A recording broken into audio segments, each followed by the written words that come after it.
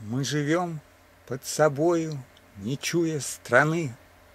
Наши речи за десять шагов не слышны.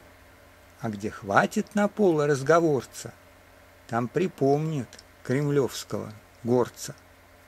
Его толстые пальцы, как черви жирны, А слова, как пудовые гири, верны.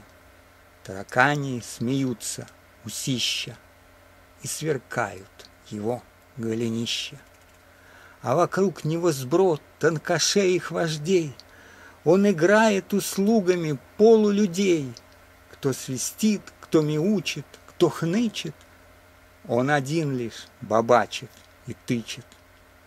Как подкову кует за указом указ. Кому в пах, кому в лоб, кому в бровь, кому в глаз.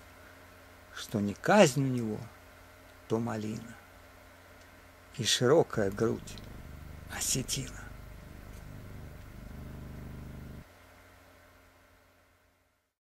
Аня, у вас нет словаря синонимов. Мне нужен синоним слова «прорва». Знаете такое выражение «в прорву»?